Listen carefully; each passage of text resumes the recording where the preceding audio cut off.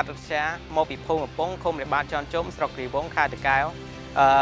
សម្រាប់រង្វាន់ឈ្នះរង្វាន់10លាននេះគឺខ្ញុំបាទដាក់ ថាជា100សន្លឹកជាងហើយនៅពេលដែលឈ្នះរង្វាន់គឺមានអារម្មណ៍ថាសប្បាយចិត្តមែនទែនបាទដឹងពីកម្មវិធីឈ្នះរង្វាន់របស់ T-Port គឺនៅតាមស្ថានីយទូរទស្សន៍ My TV ហើយខ្ញុំផ្ញើនៅសន្លឹកឆ្នោតនៅតាមដេប៉ូ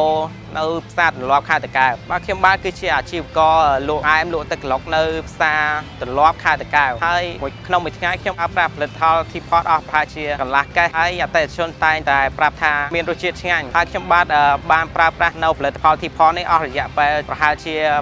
5 6ឆ្នាំហើយបងដល់ពេលដែលក្រុមការងារខលទៅប្រាប់ថាឈ្នះរង្វាន់10លានគឺថាមានអារម្មណ៍ថាសប្បាយចិត្តស្រែកហូថាឈ្នះរង្វាន់ហើយបាទក្រុមហ៊ុន T-Pop ពិតជាចែករង្វាន់ពិតពិតមែនបាទសូមផ្ដាំផ្ញើដល់អតិថិជន T-Pop ដែលមិនទាន់បានឈ្នះរង្វាន់គឺបន្តការដាក់សន្លឹកឆ្នោតដើម្បីឈ្នះរង្វាន់ធំគឺរថយន្ត Mazda 2019